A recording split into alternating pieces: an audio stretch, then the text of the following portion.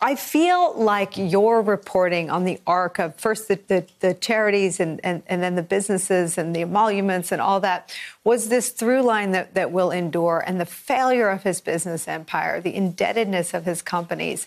While it feels like karma is still a remarkable story of failure and calamity, how bad is it? It's worse than I think it's been for Trump since maybe his famous collapse at the end of the 18, 1980s and the beginning of the 1990s. So not only are all of his businesses that have anything to do with hospitality getting crushed by COVID, losing as much as 60% of their revenue in a year last year, the things that the, the people, the partners, the opportunities that he might have used to build it all back he's lost those just in the last couple of weeks because of his own actions. You can't blame anybody but himself. Lawyers, bankers, golf tournaments. He's lost it all because of what he did on January 6th. So it was already a very dire situation. And now the ladder he was going to use to climb out of it seems to be gone.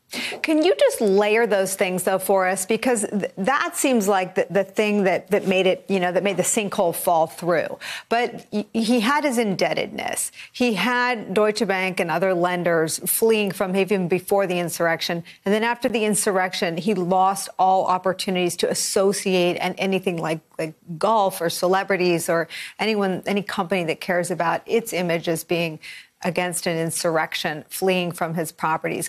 How do they stack up, and what is the most damaging to him now? Well, I think the, some of the most damaging things for him, I mean, put aside COVID, which has crushed the entire hospitality industry, but especially his properties because they were already, they had already driven away half their clientele by appealing only to people affiliated with Trump's politics.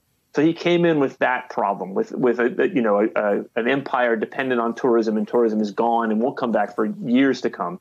Uh, but then he still had people who'd stuck by him. He had lawyers, he had bankers, he had vendors, and he even had something that the PGA had given him, the PGA Championship in 2022.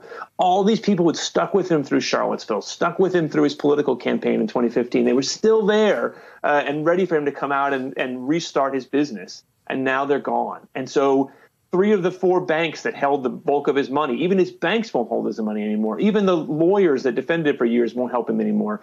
So that forces him to find new banks, new lawyers, go down to the B team or the C team or the D team, just at the moment when he needs professional help the most.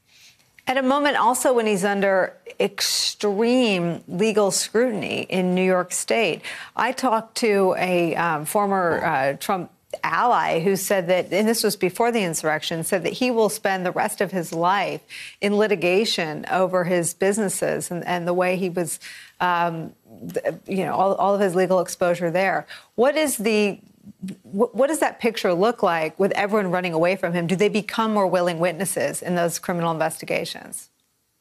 I think Trump has to really think about that. Uh, he has uh, driven away some of his lawyers. He's alienated folks who used to work for him. I mean, the, the, the draw with the Trump organization had always been loyalty. You know, he'll be loyal to you, you'll be loyal to him. The people who'd worked for him worked for him for years and years and years. Um, now he needs all those folks, those internal folks, outsiders like lawyers and bankers and accountants. He needs all of them to show loyalty to him because, as you said, his business is under legal scrutiny like it's never been before. The New York Attorney General and the Manhattan District Attorney are simultaneously investigating Trump's finances. They're going to want witnesses, documents, and cooperation from folks. And, and you have to think that what he's done in the last few weeks makes it more likely that they'll find people who will say, look, you know, this is the time I'm turning my back on Donald Trump. I got to think about myself and not him.